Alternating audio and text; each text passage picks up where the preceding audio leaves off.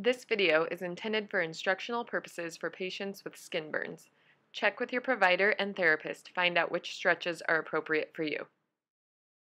This video will walk you through the recommended hip and groin stretches for your burn.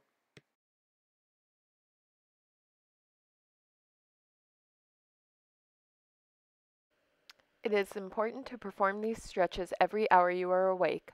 Hold each stretch for at least 30 seconds and perform each stretch 10 to 15 times. Lunges.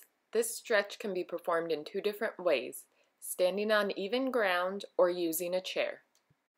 If you are performing this stretch on even ground, step back with your leg and bend your knees, tilting your hips back as if you are tucking your bottom under you to stretch the front of your hip. If you are using a chair, step up with your right leg to achieve a stretch on the front of your left hip. Forward bending. Sit at the edge of a chair, bed, or table and lean forward as far as you can. You should be able to feel a strong stretch over the back of your hip and buttocks.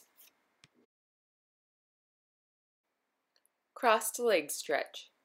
Sit at the edge of a chair or table, cross your right leg over your left leg. Gently push your knee toward the ground to feel a stretch on your hip and groin. Combine front and back hip stretch. Sitting on your bed, scoot forward so that your bottom is at the edge of the bed.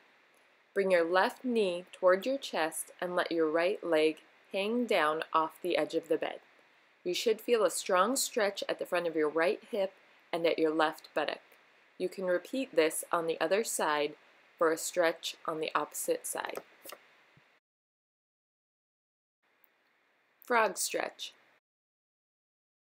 Lay on your back or sit on a flat surface.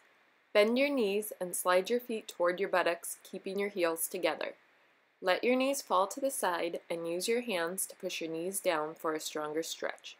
You should feel a strong stretch in your groin area. This is the end of this video. To repeat another set of stretches, you can start the video over from the beginning.